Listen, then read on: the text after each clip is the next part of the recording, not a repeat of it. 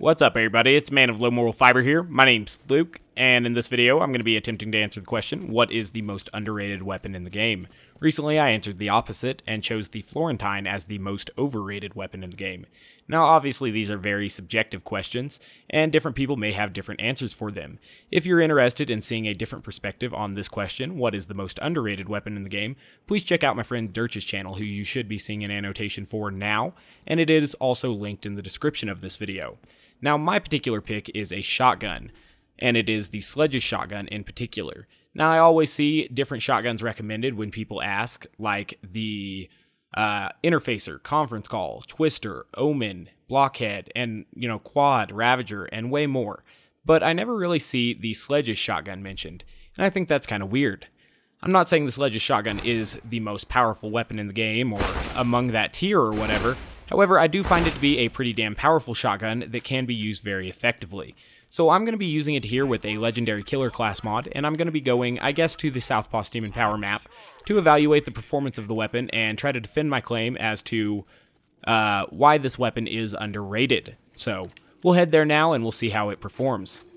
I am going to make sure that I have on the right gear here, so that's good. I am using a Legendary Killer class mod, and uh, the skill build I'm using looks like such.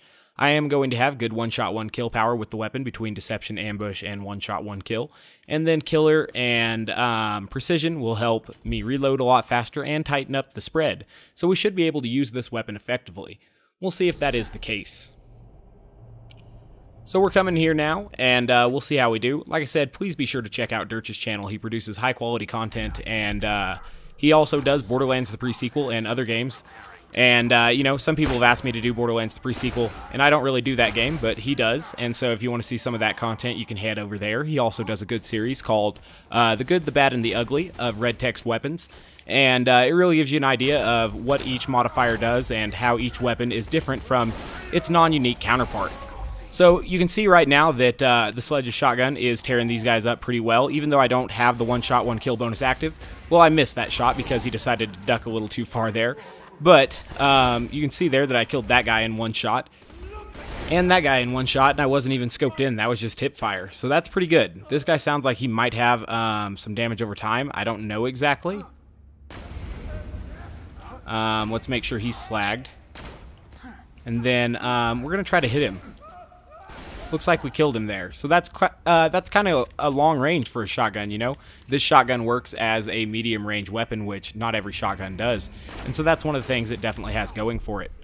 Now, I'm going to uh, definitely try to get the one-shot, one-kill on Assassin Wot here, and that worked out well. We'll avoid these axes and uh, get some extra damage on this guy.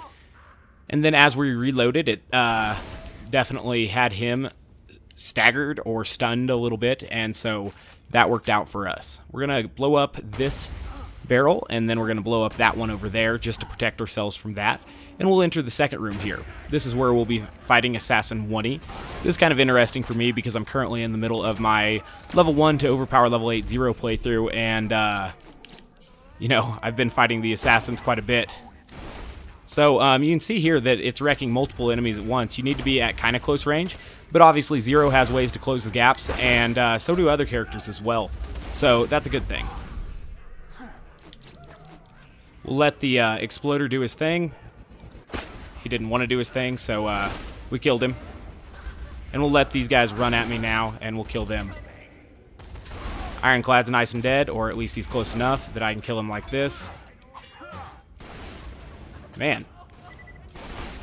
Okay, so we're going to kill this Ironclad this time uh, as part of a bore here or something. I don't know. All right, he's dead. And then we got the little runner dead as well. So, so far we're not really having trouble. Uh, these guys have backed us up a little bit, but uh, we're doing pretty well. That guy's running away. Try to hit his head through this guy. It might have worked. I don't think it did. Um, sometimes I try to go for that with more accurate weapons as a bore through somebody, especially since uh, the skill bore highlights critical hits and you can see them, you know, through the shadows or whatever. Through the blue, at least. So here I'm going to execute this dude, which will uh, move him back a little, move him back a little bit, but then his grenade blew up there and it threw me off right before I took my shot. So uh, that ended up not being as cool as I thought it was going to be by a long by a long shot. Okay, um, so there's one more guy here. We'll get ready to kill him. And now there will be um, Assassin Oney and all of his bodyguards spawning. We're a little bit low on sniper ammo, or shotgun ammo, excuse me, but not too bad. Alright. Cool. And so it definitely has enough stopping power to kill these running lunatics. And that's a good thing because these guys really can't get that close to you. Otherwise, um, they'll kill you. And so uh, we're definitely watching for where their grenades fall and everything.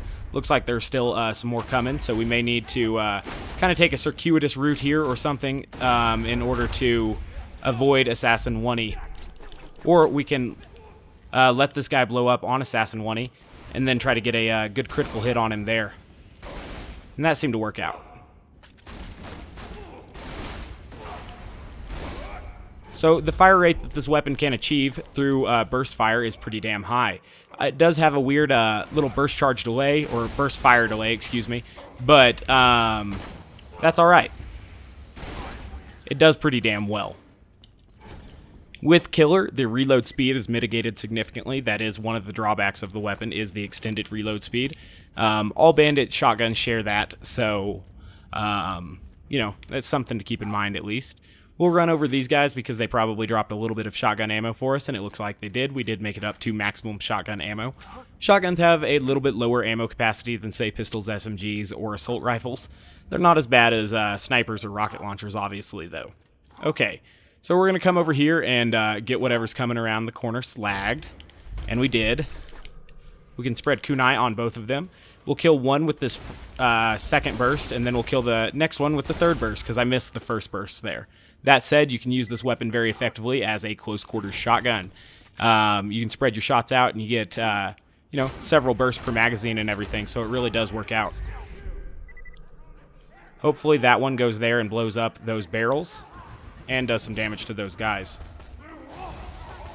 So that worked out, I think. So that works out too. So now we got uh, an ultimate badass nomad here which is a little bit worrying because uh, you have to hit him in the head, right? But we killed him. Okay. Neat. So we've been luring the enemies into close quarters there for a bit, and uh, that was working out very well for us. Alright, we'll use the rest of this uh, deception that I used to get away from the exploder to kill that guy. So dual purpose deception there, that works out.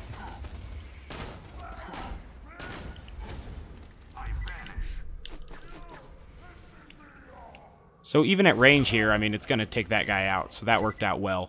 And granted, that wasn't a ton of range, but it was range nonetheless. Okay. I'll reload here to get that one-shot, one-kill bonus. Then I'll load him up with kunai, and we'll take him out. So that worked out well. You can see how this weapon is not lacking in stopping power if you do hit it um, correctly. You know, you need to get those critical hits and everything, but that is to be expected. This is OP8. And like I said, I never really see this recommend, uh, weapon recommended for anything, much less OP8. And it does fine. I mean, it's a viable weapon here.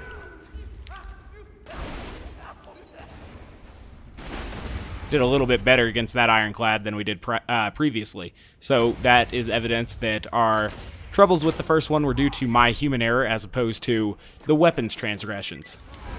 Wow, it's weird to get two uh, big badasses in this room, but an excellent opportunity to showcase this weapon, I guess. And you can see there, it's very effective.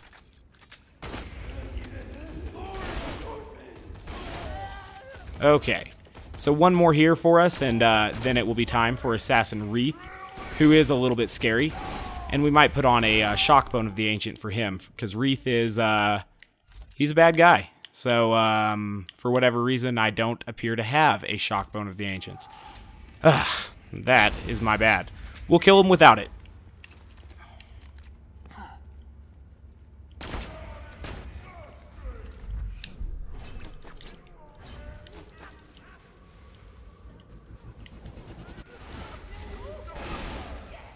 So this isn't the weapon I would bring to uh, Digistruct Peak to fight the assassins, perhaps but I think it will be uh, more than good enough for fighting them one-on-one -on -one here in uh, Southpaw Steam and Power, which is a difficult map, mind you.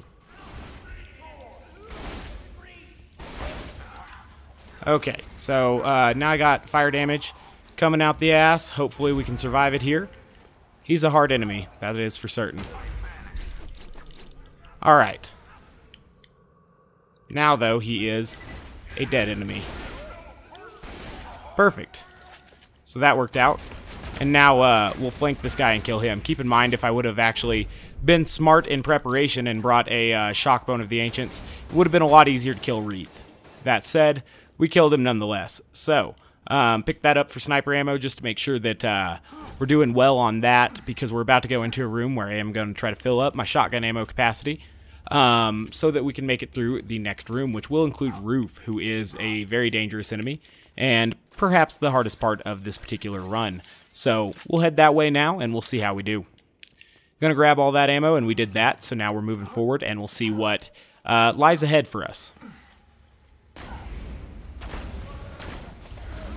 I'm going to try to get close to these guys and uh, go for a uh, double kill here. So that was kind of lame for me because I walked through those barrels that I tried to destroy. Um, I didn't really mean to do that by any means. So uh, that sucked, but now we're doing okay. And uh, now I have an opportunity to retreat. We've killed two of the uh, exploding ones, so that's a good thing. We'll go ahead and kill that one too because he applied a fire dot to us. And uh, we'll kill this one the same as we killed the last one. Okay. Now there's a guy up here. He's trying to uh, exacerbate our fire damage over time with uh, slag, but we killed him. So that's good. All right.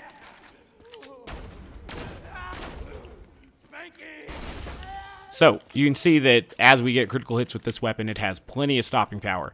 Now we're going to be taking out some more gun enemies, so we'll need to uh, kind of pick and choose um, what we're going to take out and when. In this case, I just took out what was available. We'll kill that guy. Plenty of stopping power, obviously, to kill him, so that's good. Then I'm going to charge at this guy and kill him. That way I still have deception for uh, that guy there. And then we can kill him. Perfect. So just a couple more enemies here. Looks to be uh, one Nomad and one Marauder. We've dealt with worse. So like I said, it's not the world's most powerful weapon by any means. But it is a viable one at that. So, um, that's good. We'll go down there and uh, figure out how we're going to kill this fella. He's just down here being a bitch, running away, catching us on fire, um, which I do hate. Thank you, barrels. Oh, good. He is really running away. Um, yeah, so we killed him. Now we'll be working on Assassin, uh, Assassin Rouf, who's so fun.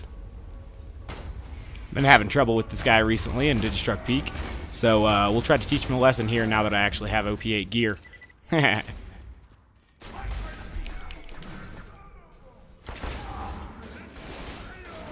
figured I'd have enough burst damage to, uh, or bore damage just to kill those guys. So I did. This guy is pretty damn aggressive. He'll make jumps. He'll uh, try to get places where you don't think he'll be. And he'll jump at you, too. He's uh, aggressive. He throws grenades. He has sometimes a very powerful shotgun.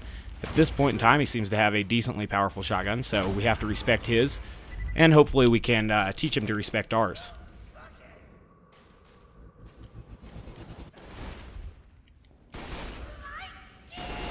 Okay, so like I said, he is damn difficult, and my antagonist has just managed to slag me, which is always fun. Okay. So my slag's almost worn off. His did, so I re-upped on that. So, um, yeah, that worked out. We uh, did major damage, but we took major damage. That said, we were able to get away, and we got our transfusions back to us. So we should be able to kill him this deception. We'll see if that's the case. Or at least before the next deception cycle. Excellent. It came down to the wire there, but we got him before he got us. So, um, I'd, I'd count that as a win. Got a little bit hairy. Like I said, this isn't the world's most powerful weapon, but it is a powerful weapon. One that I don't feel gets enough recognition. I mean, it's a pretty damn good gun, right? Um, it seemed to perform well there. I could take it to Washburn Refinery and I guess perhaps I might because uh, I think the weapon deserves to be shown against loaders as well because it shines more against loaders than it does against humanoid enemies. And so we'll just pop on over there real quick and see how that goes for us. Um, let me find it really quick. Here it is. Okay, and so now that we have spawned in here to the Washburn Refinery, it's a good opportunity for me to uh, re-up on ammunition. And I guess in this particular uh, run, I can talk about how it synergizes with some of Zero's skills. Now, um, it works well with other characters as well. Um, in particular, I am reviewing it for uh, from a Zero perspective.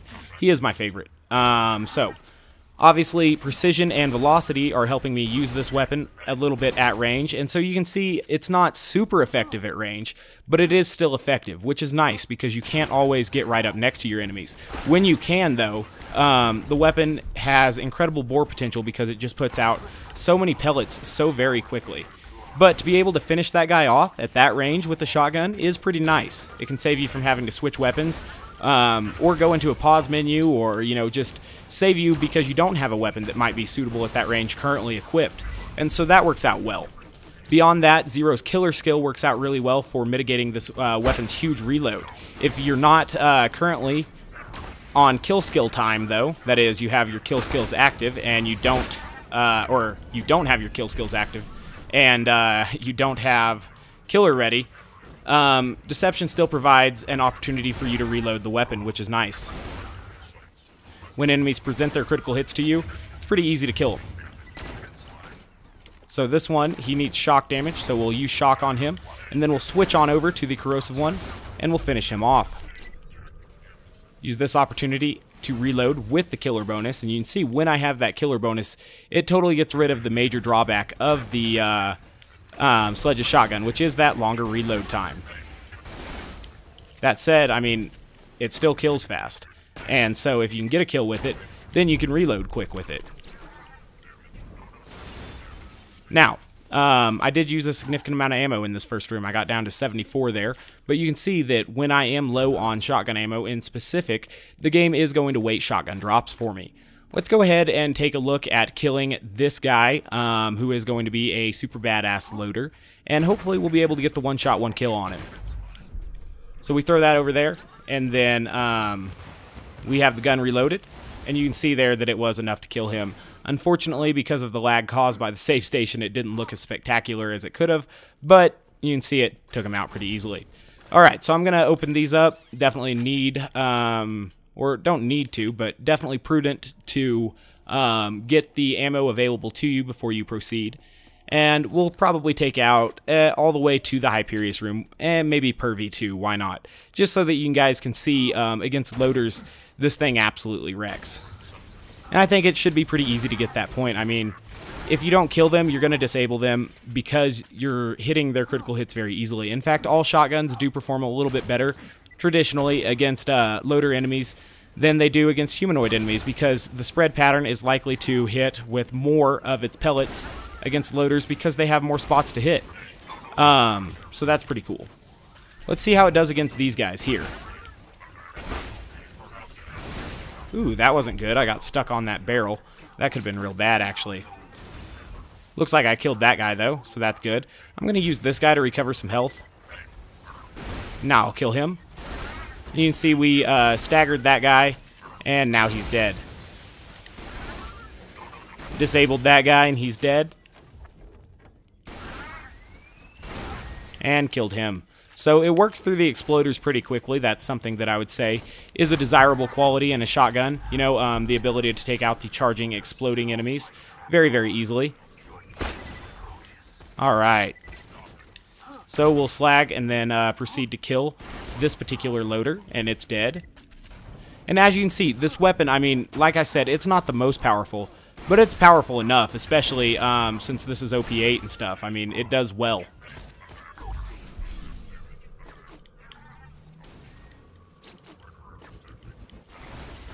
Ooh. So, um, like I said, this weapon is fairly ammo hungry. I mean, it does eat up 8 ammo at a time, it seems, in a burst, um, depending on how active Two Fang was that particular burst and stuff. So that's good. That we were able to get more ammo there. So we'll open this one, and that should provide enough ammo to not only kill this guy, but the badass who just spawned as well. And then some of the enemies that we killed while we were low on ammo will probably have dropped ammo for us, so we're going to be plenty good to go into the next room. Yeah, like I said, now we have over uh, 70 ammo, so good stuff. Try to get another one-shot, one-kill on this enemy like we did the last one. And we did. At the very least, it was a one-burst, one-kill, but it seemed to be the uh, first set of pellets that killed him. So that's pretty good. Now we're doing fine on ammo. I probably should have been walking around and picking up the stuff there. Probably my fault, player error that we run out of ran out of ammo there. Um, but you know, um, it is something to keep in mind. Ooh, uh, extra badass loader. That's a little bit of a bonus for us. So we'll go ahead and uh, kill him. Same way we just killed the last one. Didn't quite get uh, the one shot, one kill, but we got close.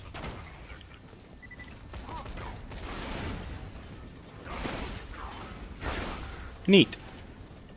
So we'll slag this little fella. And uh, someone, through all the visual pollution, was uh, dealing some good damage to me. So we'll uh, put some transfusions out there and recover that damage. That'll reload for us now that we have Killer. Um, obviously, you know, one shot, one kill is working out great in situations like that. Ambush always works with uh, Deception active, so that works out really well for us. And uh, the rest of these guys, I mean, they don't really stand a chance against it, you know? It is very, very powerful. And in close quarters, it's a great shotgun. In medium range, it's an above average shotgun. So I like that. Wow, apparently that didn't slag it for us. That's okay. We're going to scoot on over to this guy and uh, try to get an end of deception shot on him that was at least effective enough to do something. Alright. So, I want to uh, kill an enemy without catching another fire damage over time. Well, instead I just took a huge uh, blast to the face there. Um, no innuendos intended. Moxxi'd be all over that one, though. Um, so we're going to move forward here, and as you can see, we've definitely worked through all of these enemies. Now, like I said, my friend Derch had a completely different answer for this. An entirely different weapon class, in fact. I don't want to spoil it for you guys, but like I said, it was linked earlier in the video. I'll leave it linked in the description for you guys, and uh, I definitely recommend checking it out. Like I said, he has a ton of great content, and he's made a completely different pick than me. So if you thought what my pick for uh, most underrated weapon in the game was interesting, you might find his pick interesting as well. We've got just a few more enemies to take out here. We're going to go to the uh, Pervy section and kill those four-player health scaled. You can see that we were already in four-player health scaling by the way I picked up that last box of ammunition. So that's important to note. But you can see that we're still perfectly capable of getting easy kills on these guys. So um, I'm just going to stock up on ammo real quick, and then we'll go ahead and face these guys. Okay.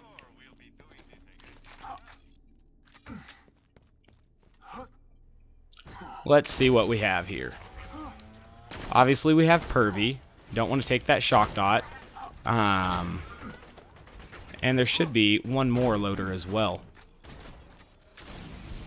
Okay, so uh, four-player health scaling dealing quite a bit of damage to my health here, but that's okay. Because we can get one-shot, one kills on them, which is pretty impressive. This is the guy I was trying to slag, though, so that we could hopefully get some bore action. That didn't quite work out for me, but um, other than that, it is working out. Ah, he got unslagged, so that sucked. We'll reslag these guys, obviously in four-player mode. Slag wears off very, very quickly, and, uh, you know, that can be a huge problem for us. Without one shot, one kill, though, we still killed uh, Pervy in one burst, which is pretty damn impressive, I would say. He has boss, boss level health. Excuse my uh, Mike Tyson lisp there. That was my bad. Okay.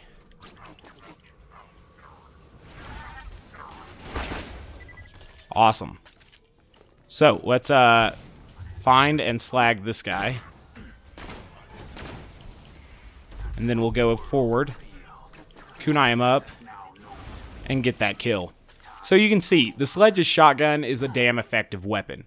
Like I said, not the best weapon in the world, but a damn effective one, and one that I never see get any love. And that's why it's my pick for most underrated weapon in the game. Go ahead and tell me your pick for that. Obviously, it's a subjective question. I'd like to see how others evaluate that particular question as well. So, as always, guys, thank you very much for watching. I do appreciate it. If you haven't yet taken the time to subscribe, please do so. I'd appreciate that as well. Otherwise, I do hope to catch you next time. Bye, guys.